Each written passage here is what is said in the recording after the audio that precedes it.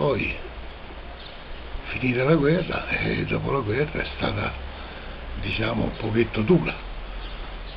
C'era la borsa nera, a tutti i modi si cominciava a trovare sia da mangiare, sia roba, zucchero, caffè, che, e tante altre cose che non c'erano prima.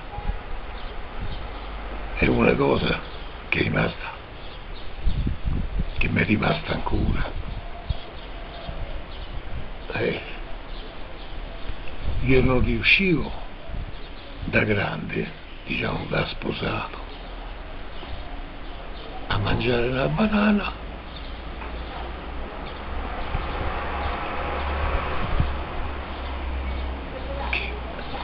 che, perché mi sembrava una cosa di lusso e la lasciavo a, ai miei figli. Non è che non potevo permettermela, anzi, era una cosa che mi era rimasta nella coscienza. Inoltre, una cosa che mi è rimasta impressa,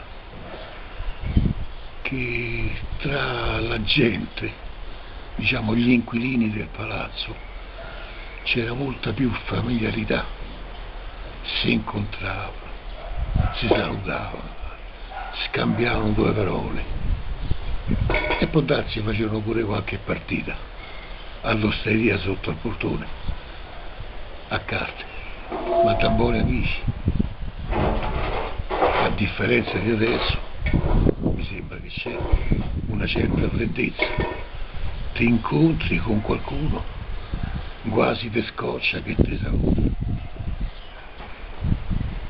Volevo mettere poi nel periodo della guerra, nel periodo dopo guerra, 46, un momento particolarmente difficile, mi morì pure mamma. E io sono andato, papà, essendo rimasto senza moglie,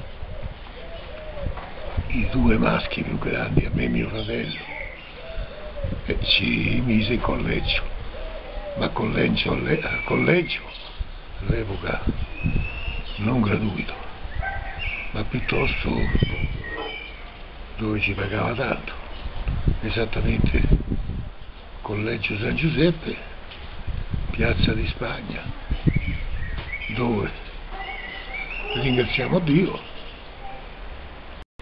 hanno aumentato la mia, diciamo come si può dire, la mia conoscenza cattolica che ci ha, me l'aveva inculcato mia madre.